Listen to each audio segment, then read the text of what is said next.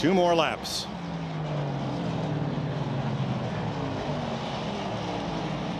Still maintaining eight here. Coming back to one to go. Nice and smooth. Truex opens it up as the white flag waves. One lap to go. Sponsored White by Credit here. One Bank. have to finish under green He here. wants to get around here as fast as he possibly can. They're three wide behind him.